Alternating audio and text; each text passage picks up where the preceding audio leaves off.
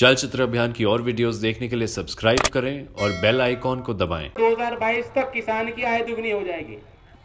आज कोई चर्चा कर रहा है? सरकार बुलडोजर से नहीं चल सकती। सरकार के हर फैसले के पीछे पूर्व से स्थापित परंपराएँ हैं, लोकतांत्रिक परंपराएँ हैं, कायदे हैं, नियम है, संविधान है, कानून है।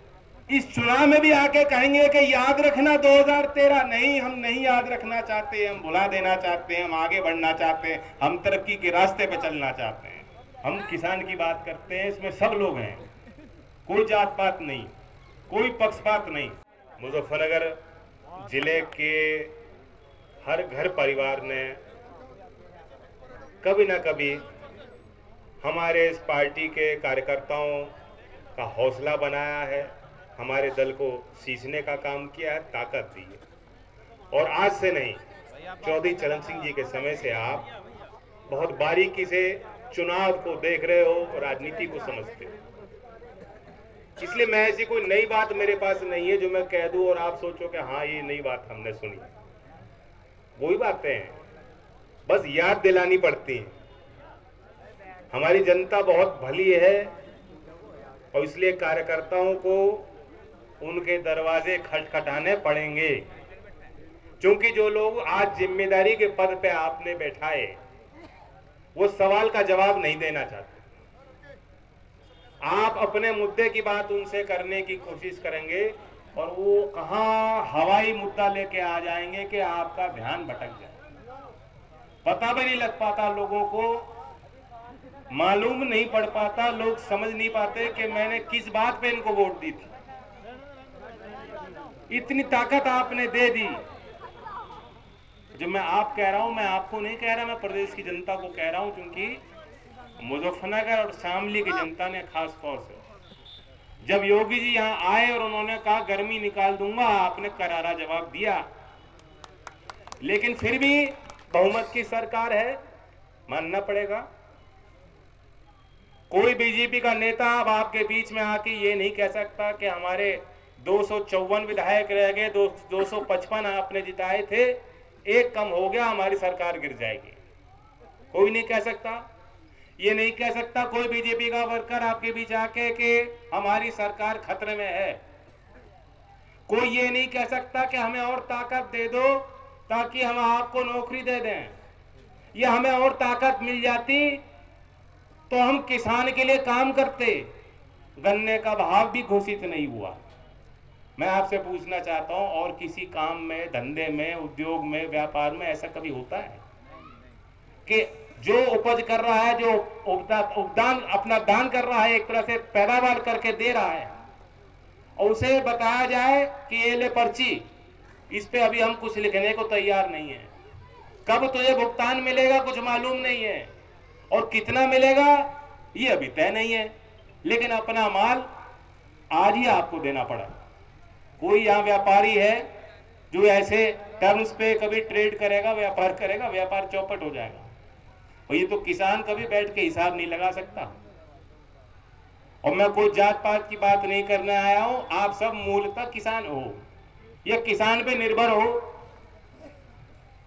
ये क्षेत्र वो क्षेत्र है जो देश के सबसे संपन्न जिलों में मुजफ्फरनगर की गिनती होती क्यों होती थी? क्योंकि वो जो गाना है ना पुराना, देशभक्ति का, मेरे देश की धरती, वो जो उसके बोल हैं कि सोना उगलती है धरती, वो यही के लिए है।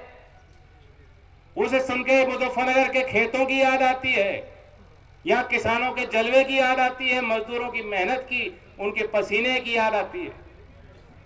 जो कुछ भी आपने बनाया है और खाया है अपने बच्चों के परिवार पालन में आपने जो जुटाए हैं संसाधन, वो आपके हैं। आपके मेहनत के कारण है। और आज अगर आप तुलना करोगे, आपका कोई दोष नहीं। लेकिन आज मुजफ्फरनगर ज़िले की वो पहचान नहीं है। सारी व्यवस्थाएँ बदल गई। और आप हिसाब लगाओ, हिसाब नहीं लगाते, हम भूल जाते हैं। ये जब केंद्र में सरकार आई, इससे पहले जो माहौल था, आर्थिक तंगी के कारण इतना बड़ा मैंडेट जनता ने इनको दिया था। और जो जनता सुनना चाहती थी वो बात बेखूबी से आपको कहते।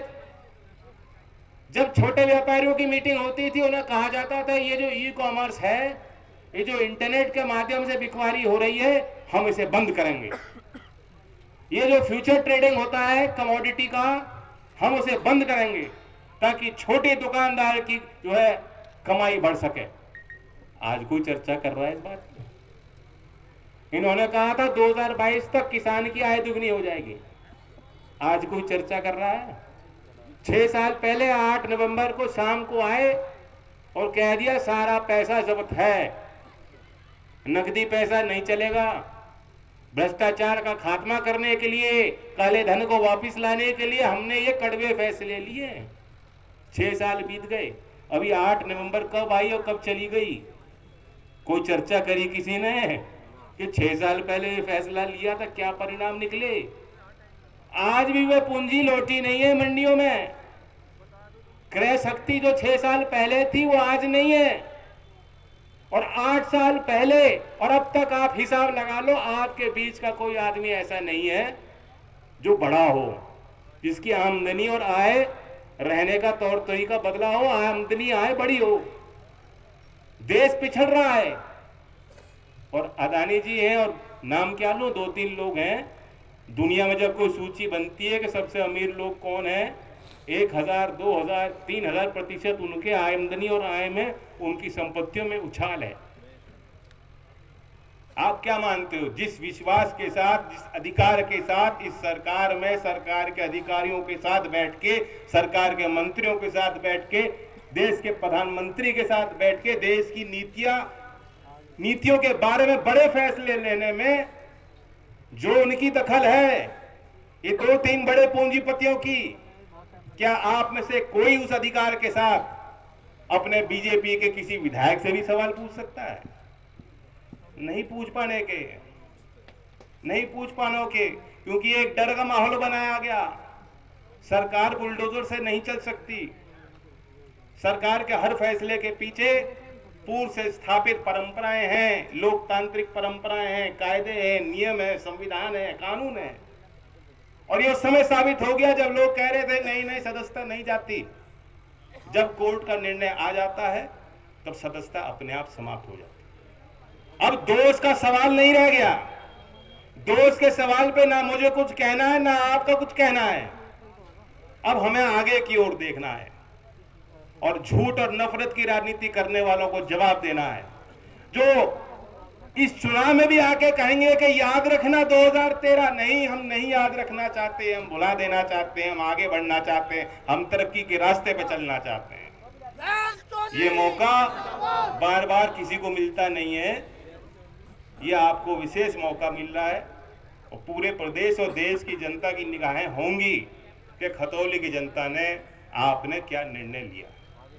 इसलिए मैं आपके आगे अपनी बात रखने आया हूँ और आप भी पार्टी के वरिष्ठ हो, कार्यकर्ता हो, पुराने हो, मैं आपसे भी उम्मीद करता हूँ कि औरों के दरवाजे तक खटखटा कर उनको समझाने का, उनको याद दिलाने का प्रयास करोगे कि आखिर वोट अगर बीजेपी को दोगे तो क्यों दोगे? और इससे तुम्हें क्या हासिल होगा? दो सौ चौवन से एक विधायक और बढ़ गया 255 हो गया तो क्या होगा? हथौली को कोई नई सौगात मिल जाएगी, मैं पूछना चाह रहा हूँ। मैं तो मुख्यमंत्री से पूछना चाह रहा हूँ कि पिछले वर्ष अगर 26 सितंबर को गन्ने का रेट तय हो सकता था, अब ये चुनाव के डर में घोषित नहीं कर रहे क्या? ये सोच के नहीं कर रहे कि हमें रेट तो बढ़ाना नहीं है, और अगर कल को रेट घोषित कर देंगे उतना ही तो किसान हमें दंड दे देंगे खतौली की जनता हमें गोल छोड़ देगी, बिल्कुल।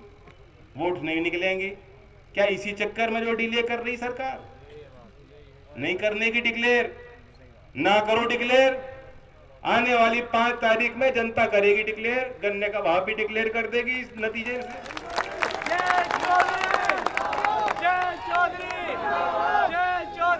बीजेपी के पक्ष में मतदान देके जो अग्निवीर गए हैं, जिन्हें कहा गया, रुको भाई, चार साल बाद फैसला होगा तुम्हारा। चार साल मेहनत करो। क्या उनकी नौकरी पक्की हो जाएगी?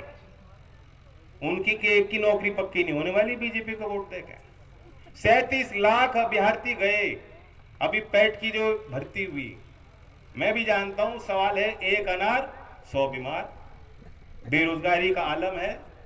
लेकिन कम से कम सरकारी क्षेत्र में नौकरियाँ निकलती हैं। कुछ तो व्यवस्था सरकार की होनी चाहिए, कुछ तो योजना सरकार की होनी चाहिए। समय रहते भर्ती पूर्ण हो जाए। मैं तो ये मांग करता हूँ कि हर ज़िले में भर्ती के केंद्र स्थापित वही होने चाहिए। मुजफ्फरगढ़ के बालकों को कहा जाता है, जाओ गाजीपुर में भर्ती निकली है। कहाँ से खर्चा करते हैं? कैसे कैसे जाते हैं? कैसे कैसे लौट रहे बच्चे? तो नौजवानों की सुनने वाली, किसानों के आगे झुकने वाली, मजदूर की मजदूरी और मेहनत को समझने वाले। अगर ऐसी सरकार बनाना चाहते हो तो खतौली से शुरुआत कर दो, उसका बिगुल अगले चुनाव तक 2024 तक बचता रहेगा। बहुत मेहनत की है और मेरे पीछे तो ऐसा लग रहा था, मैं पीछे मुड़ के देखूँ, इतनी बड़ी इमारत खड़ी है। सबने मेहनत की है, सबके मेहनत से ही जीत पाएँगे। हम किसान की बात करते हैं, इसमें सब लोग हैं। कोई जात पात नहीं, कोई पक्षपात नहीं। आँख से आँख मिलाकर जिस तरह आज मैं आपको देख रहा हूँ और आपको विश्वास दिला रहा हूँ, आपके जीवन में सुधार लाने के लिए हम लोग समर्पित हैं। और कल को चुनाव के बाद भी रहेंगे।